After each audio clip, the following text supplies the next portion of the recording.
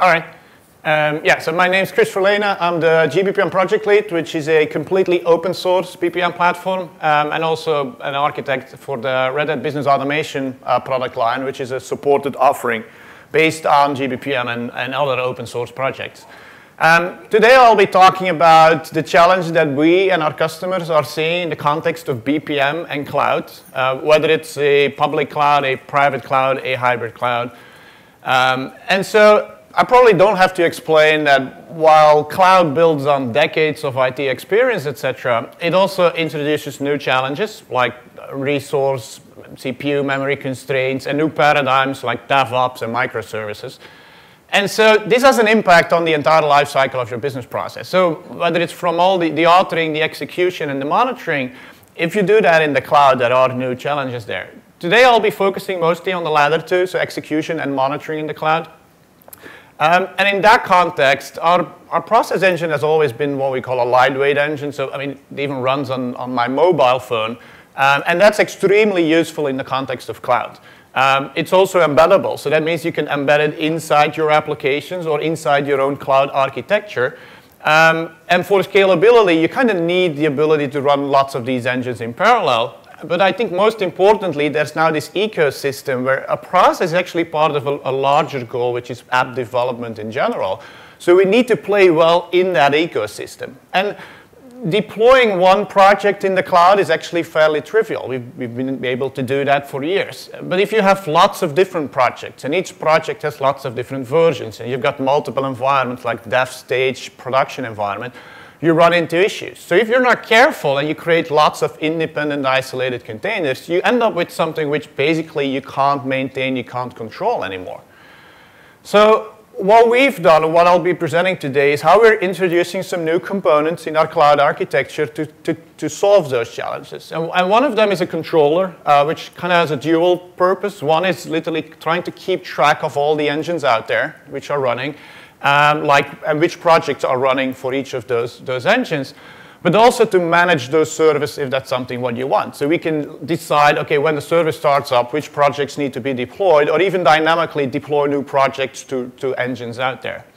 Um, another component out there that's doing some of the heavy lifting is this, what we call the smart router. So that, that's a component that can delegate requests that you have to the, the right engine so that your application doesn't need to figure out where it needs to go, but it also can aggregate data across multiple servers. Um, but so smart routers and controllers don't make issues go away. So what if there's an issue in one of the engines in your, in your cloud architecture? So how will like a process or task administrator go and figure out what, where the issue is and what it needs to do?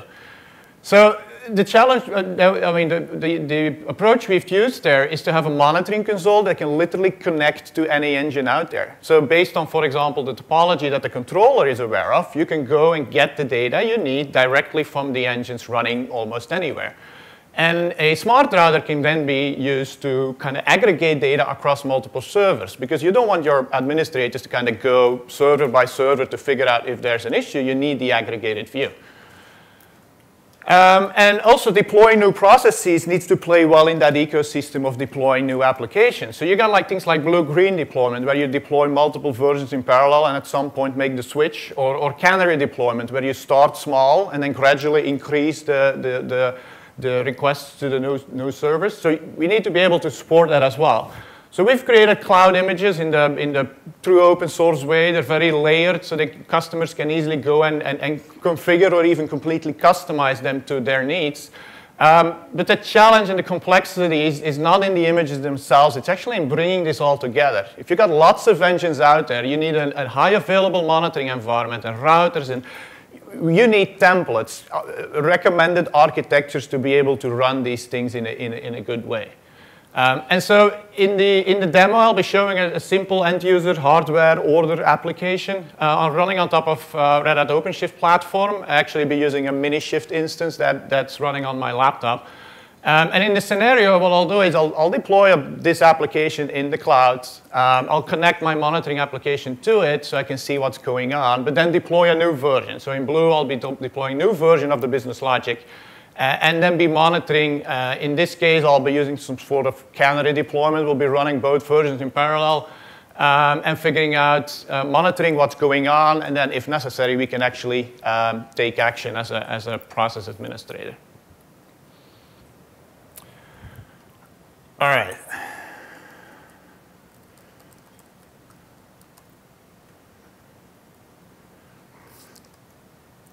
I'm going to use this slide to kind of try and guide you through the demo because um, there's different people involved in this demo and, and, and I'll be switching screens a lot. So I guess with this, with this slide, I actually want to show that there's, um, there's, there's three kinds of three personas basically. There's a developer who's going to be deploying the app, etc., is developing the process, is going to be updating the process with new business logic.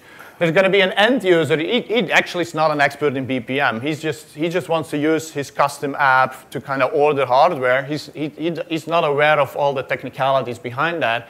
And there's a, what we call a process or task administrator who's, who's aware of the, the BPM platform and is responsible for the, for the health of, of the, the entire platform they're all using different tools. I mean, the end user is using the, the custom application that, that we're going to use in the demo.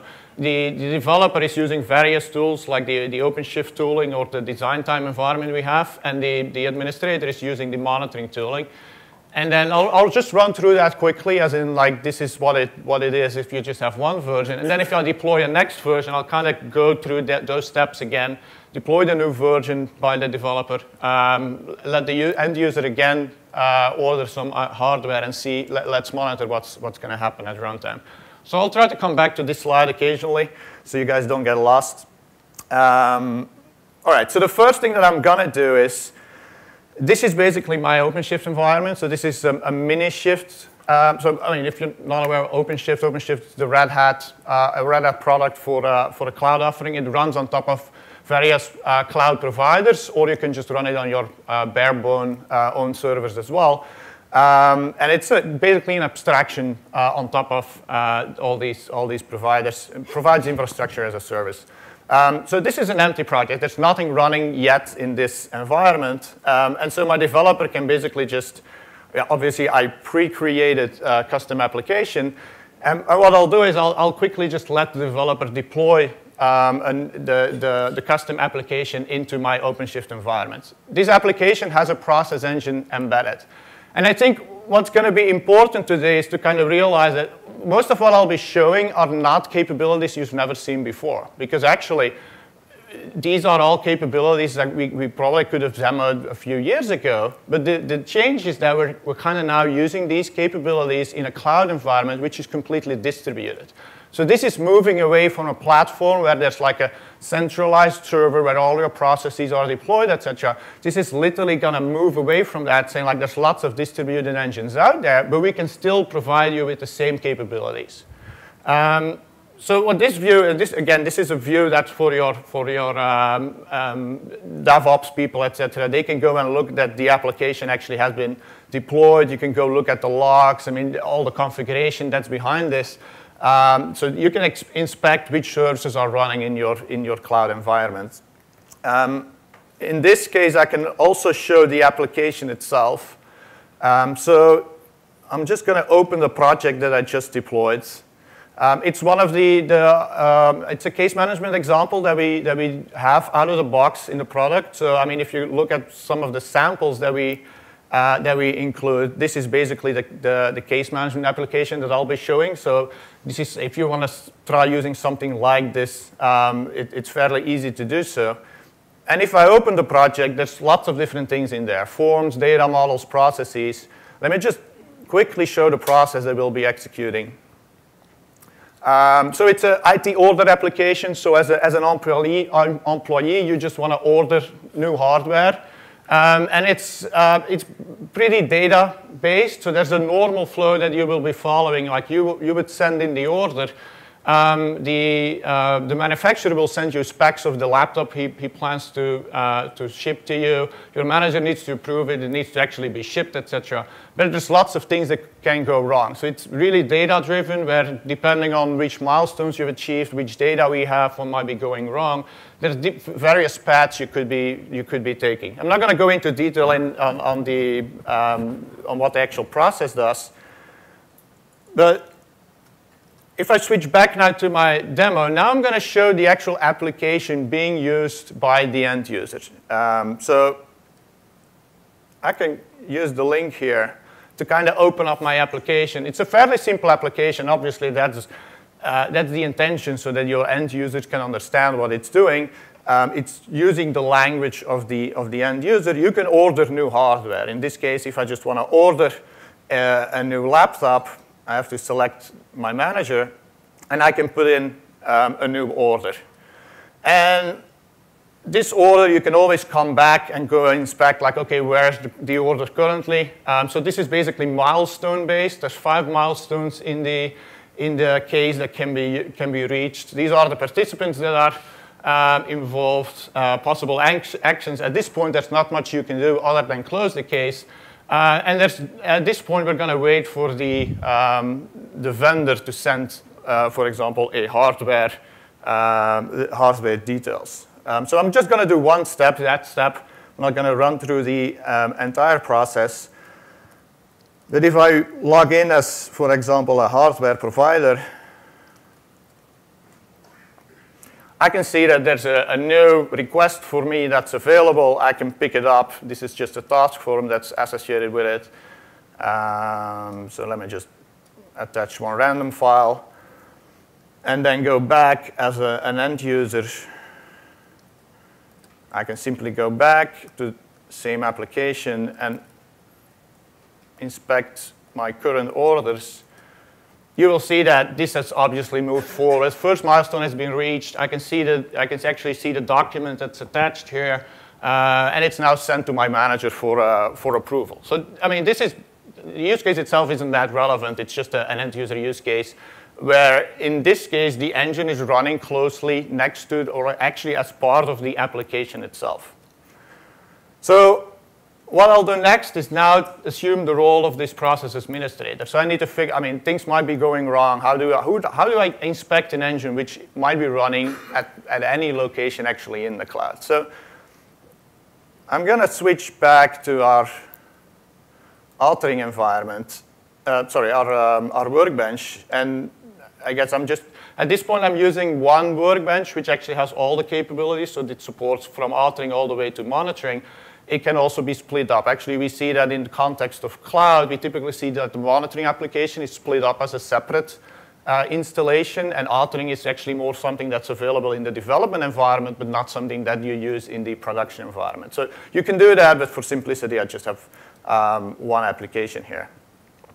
So to be able to connect to um, this execution engine, this is a view that, that's representing what the controller does. And I have to select the right one, but what this information actually shows me, there's, there's different servers that I'm aware of. So there's three types of servers currently registered in this system. But in this case, there's one engine. This is actually the URL of the, of the, of the execution server, which is running in the cloud. Um, so this is, we, we, are aware of one engine running this configuration, and the config configuration itself is that's just version one of my IT orders project is running there. So I can go and look, okay, this is the, um, this is the, the, the, engine, I can go and inspect that, and if I go to the management view, I can, I can choose which server I want to connect to. So if I select the IT orders um, template, I can see actually the instance that I just started uh, in the cloud. So in this case, this application is running on my local host. So I actually wanted to show that if you have a cloud architecture, you can choose what you run where. This is actually, I mean, you can assume that this is running on-premise. So you could decide my, mon my monitoring application is running on-premise and maybe some of your execution engines are, and maybe some of your execution engines are running in one cloud, and some of your execution engines are running in another cloud. It's a completely distributed architecture, but we still give you the kind of monitoring capability that you're used to. Um, so you can, I mean, in this case, this is nothing new. You can go look at the uh, process details, the variables, the document that is attached, etc.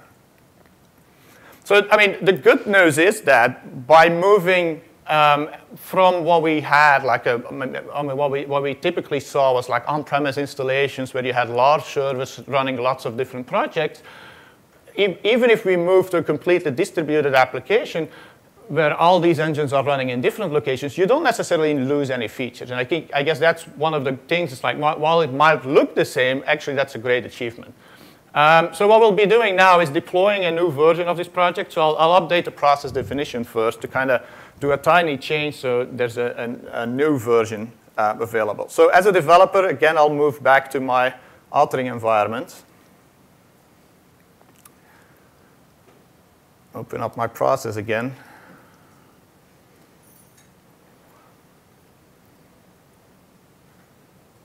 And in this case, the only change I'm going to do, which is just for demo purposes, is that, so we do allow you to specify service level agreements as well. In, uh, you can define them at a process level. So say like, okay, this process needs to be completed within a certain point in time, or you can do it at individual task level. So like, okay, each of these tasks, I expect them to be ready after a certain period. Otherwise, the, the, the SLA um, is violated.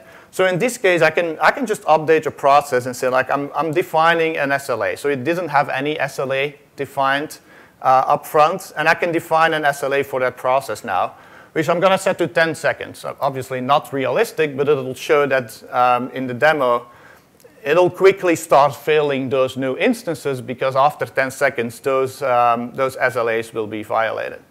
Um, so as a developer, I can go and uh, decide, okay, this project is now done. I want to deploy a new version of my project. So everything we have is completely versioned. I was running version 1.0 of my project. Um, this is actually going to be version 1.3 that I'll be building. Um, so I just built this project. I believe it's done. Um, you, can, you can run tests, etc. And then decide to deploy this new version of your project. Um, I'm going to show you two options that we that we have available. Um, and I'll, but I'll, I'll, be, I'll be actually demoing one live. Um, so when you're going to be deploying a new version of the project, we typically have two options.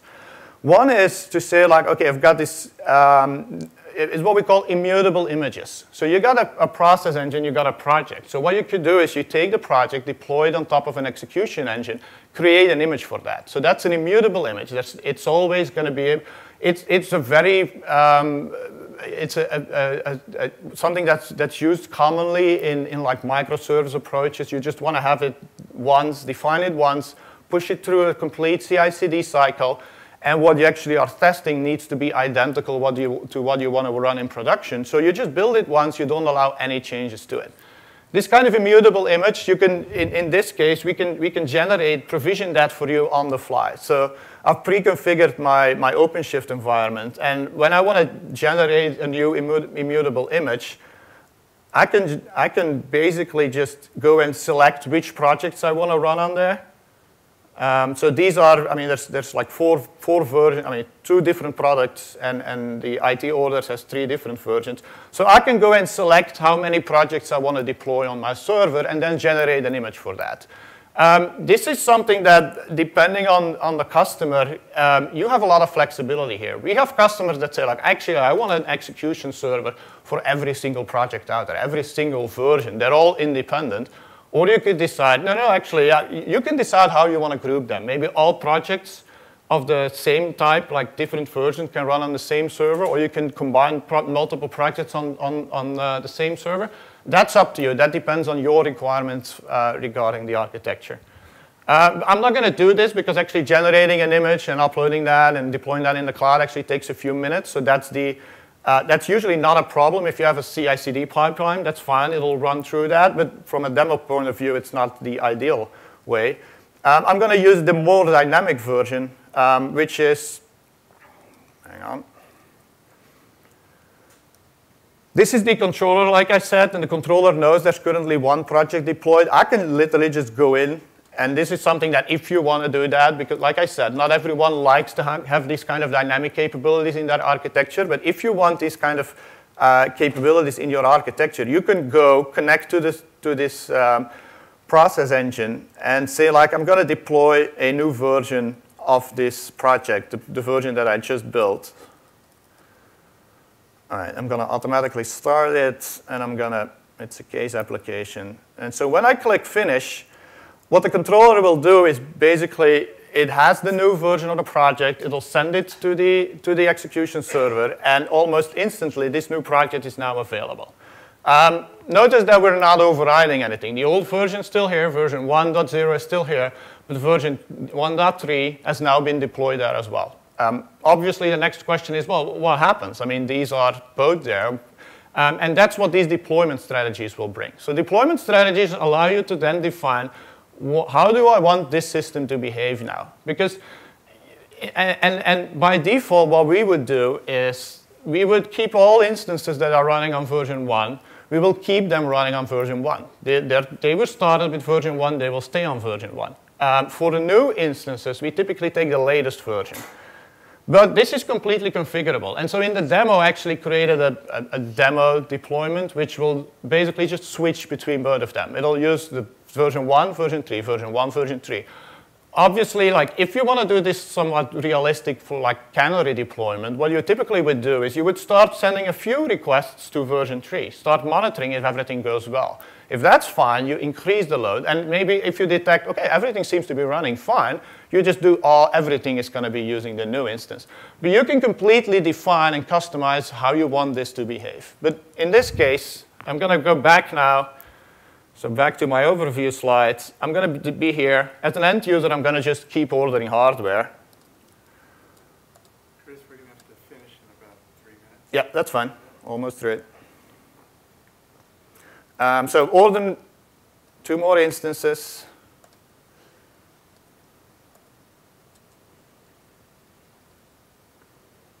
And then go back to my monitoring application. You can actually see now that there were two new instances started, one with version 1.0 and one with version 1.3. And if I turn on our SLA capabilities, um, you can see that the instance that, that was um, first started with version 1.3 has, has this SLA defined. The other instances don't. Um, and obviously, I, if I just refresh, um, the 10 seconds have passed now, you can start seeing that this was violated. So what your process administrators will do is they will be able to detect issues. In this case, it's an SLA violation, but it could just as well be like all of a sudden we start seeing errors associated with certain instances. Admin will go in, figure out what's going wrong. He might detect, okay, it's version 1.3, there's an issue, I need to roll back um, etc. So this, this will allow the administrators to figure out what they need to do, even though all these instances might be running completely distributed. And then the final thing, which is then the, the smart router. So I've got this one. I actually also got another, um, another server here. And there's only one instance running. They are using, they're, they're, this, this server is running locally on my laptop as well. It could be running anywhere. It has a separate database, so there's no data sharing but I can still look across both of them. So I can actually look through my router, and my router will make sure that I got this aggregated view. Um, so it doesn't really matter on how many instances you have. If you want to look at all the instances with errors across all your servers, the router can take care of that. Um, so uh, that's basically the demo. Um, just to clarify maybe some, some things, I focused on process, but our execution engine is very generic. It combines processes and rules and, and planning, etc. So you can apply the same for decision service, same, same kind of architecture for decision services as well. And the other key part is that, so the, the, the, actual challenge here is that the fact that the backend is completely distributed. We have, this is a full, so this is our monitoring console that we run on premise we have not lost a single feature by moving to a completely distributed uh, environment, which I believe is actually the, the, the challenge if you move away from this centralized server where all the data is located in one place, etc.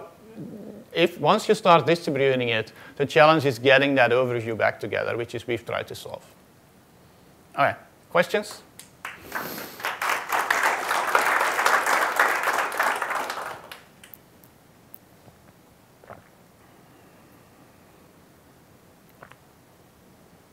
No, I guess then we're still on time, Bruce.